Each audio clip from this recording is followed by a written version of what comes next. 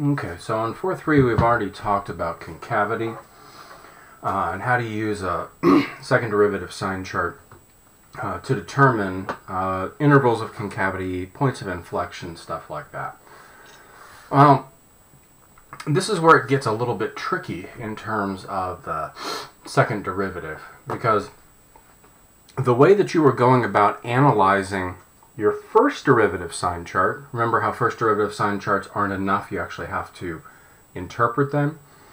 Well, the interpretation of that first derivative sign chart in order to um, identify maximum and minimum points is what's called the first derivative test. So the first derivative uh, talks about you know increasing, decreasing slope, and it identifies maxes and minimums. The second derivative test identifies maximums and minimums. Okay? So that's the tricky part about the second derivative test. Second derivative describes concavity, but the second derivative test is using the second derivative to confirm information about extrema that you got from the first derivative.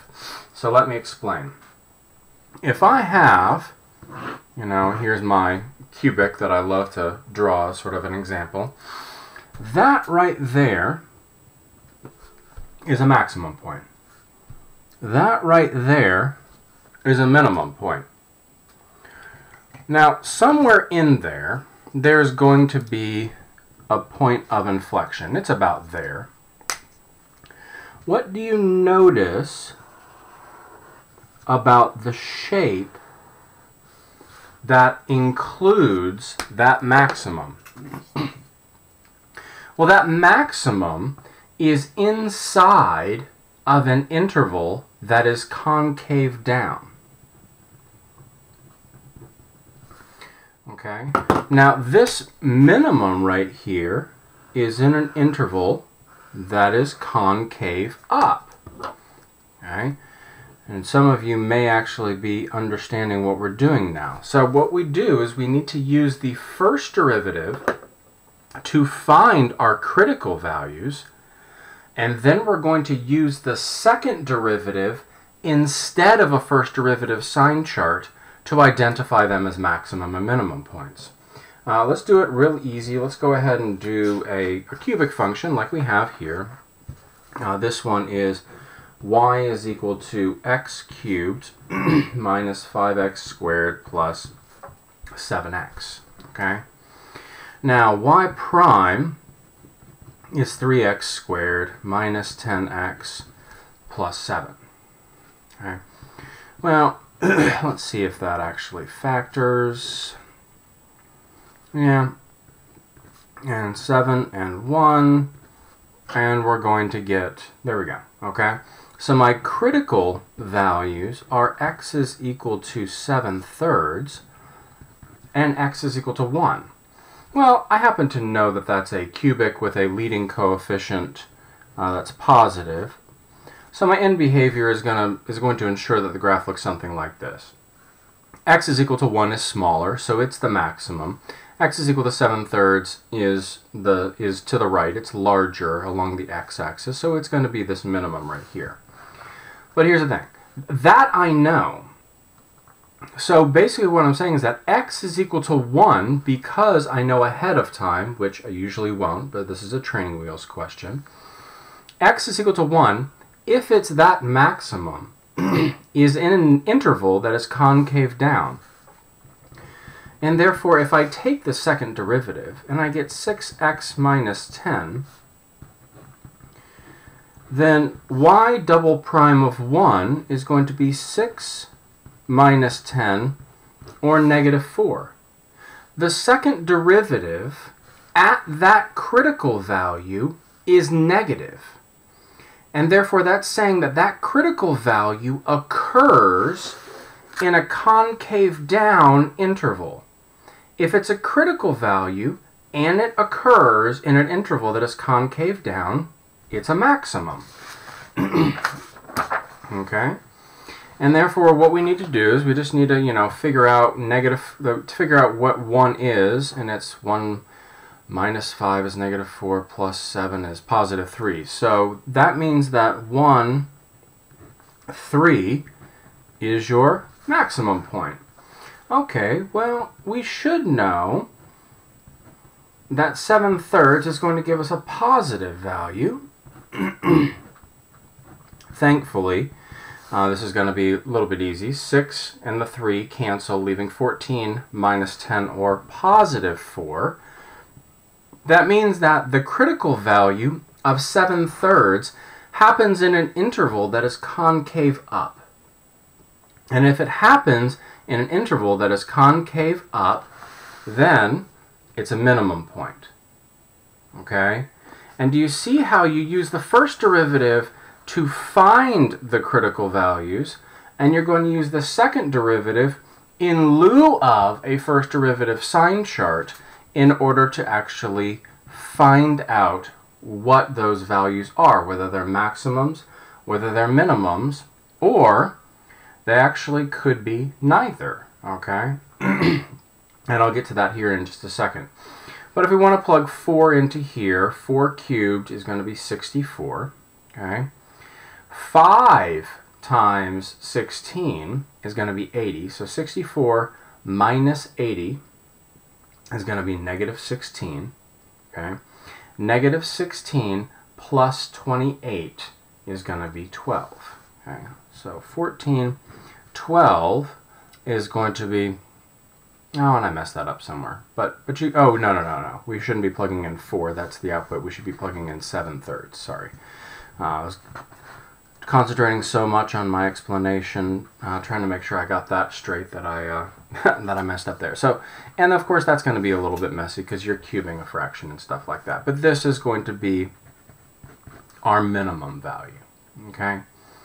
So there are two ways, once you get critical values from the first derivative, there are two ways to identify whether those critical values are maximum, minimum values, or neither. One of them is by a first derivative sign chart and then interpreting it by the first derivative test, like we've seen. The next one, the other way of doing it, is using the second derivative to determine the concavity of the interval in which the critical value occurs. And the concavity in which that critical value occurs will tell you whether it's concave up, concave down, or neither. Okay? Now, I said or neither. Okay? Well, let's go back to our old friend y is equal to x cubed y is equal to x cubed looks like this. Now it has a critical value at 0, 0, right? And that critical value at x is equal to 0 is because it actually does come up and lay flat right here at the origin, just for a split second. So it was positive slope, positive slope, positive slope, 0 slope, positive slope, positive slope, positive slope. But that is not an extreme point. That is neither a maximum or a minimum. That is actually a point of inflection because it's a critical value for the second derivative as well. So if we get a critical value for the first derivative that gives us zero when we evaluate it using the second derivative test, it's, it's, it's not a maximum or a minimum value, okay? And of course, if it's undefined, it winds up being uh, sort of in, sort of indeterminate. You can't really determine what's going on. Okay, so let's go ahead and do a couple more examples that are a little bit more difficult. Uh, let's go let's go back to our old friend the serpentine curve. How about y is equal to 4x over x squared plus 1? y prime is the bottom uh, times the derivative of the top minus the top times the derivative of the bottom over the bottom squared. Okay? Oh, sorry. Got to actually square it. So this numerator right here is going to be 4x squared plus 4 minus 8x squared over x squared plus 1 squared. which is going to give me, when I factor the 4 out, it's going to give me 4, 1 minus x squared over x squared plus 1 squared. Now that is going to give me first derivative critical values at 1 and negative 1. Okay.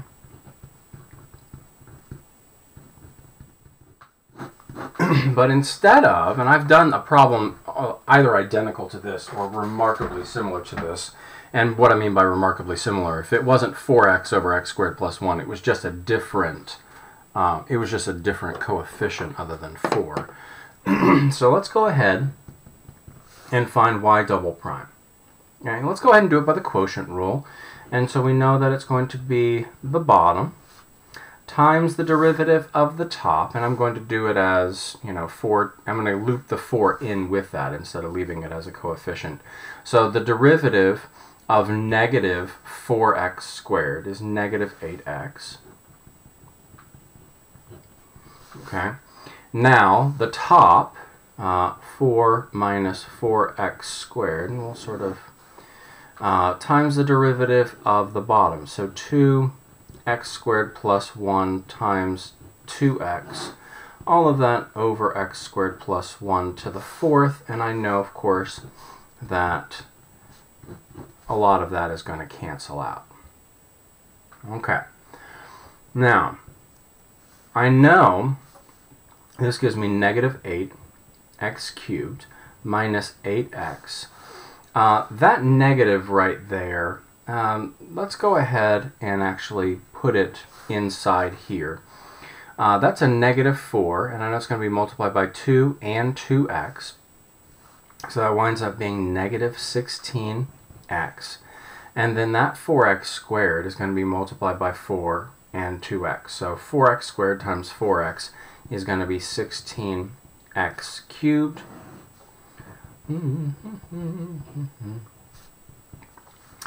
And this right here, this is going to give me 8x cubed minus 24x over x squared plus 1 cubed. And the second derivative is going to be 8x times x squared minus 3 over x squared plus 1 cubed. Now here's the thing. I, I don't really even need to get a value for the second derivative at 1 and negative 1, right? Now that I've gotten this, I simply just need to determine whether it's going to be positive. Okay, so y double prime of negative 1 and y double prime of 1, is it going to be, what's its relationship to 0? Well, let's go ahead and plug it in. If I plug in, well, everything in the denominator is going to be positive, so I'm really not worried about that. So if I plug in a negative 1 here, negative 1 squared is 1. 1 minus 3 is negative 2. Okay? That negative 2 times a negative 8 is going to be positive, so that is going to be greater than 0. Same thing is going to occur when you plug in 1, except it's going to be a positive 8 out here, so that's going to be less than 0. So this means that it's concave up at negative 1, okay? If it's concave up at negative 1, then you have a minimum at negative 1, okay? Just remember what this function actually looks like. Uh, and it's nice to actually do one that you know what it looks like. This function looks kind of like that. So at negative 1, it's definitely going to be concave up, right? And therefore, negative 1, concave up, that's a minimum. You know that at 1, it's going to be concave down, and therefore that is going to be a maximum, okay? So all you're doing here is you're using the second derivative instead of a first derivative sign chart in order to determine the nature of your critical values. Okay, uh, I'll probably only do, I mean, here's the thing. Second derivative test is actually really, really easy. Um, I mean, the hard part is obviously sometimes just, you know, doing the differentiation to get the second derivative. The hard part about second derivative test is doing it enough times to get over what it's called. Now I find the I find the naming of the second derivative test to be the most unfortunate thing. Because you associate the first derivative and its critical values with extrema. So the first derivative test should be about extrema. Uh, you associate the second derivative and a second derivative sign chart with concavity. But the second derivative test is not about points of inflection. The second derivative test is another way to discern extrema. And that's the hardest part to remember, but once you actually get that straight in your head, it's smooth sailing, and actually the, the mechanics of it wind up being rather simple. So I'll go ahead and do one more video on this, and then I'll probably get going on some 4.7 stuff, some uh, optimization, uh, uh, word problems. Bye.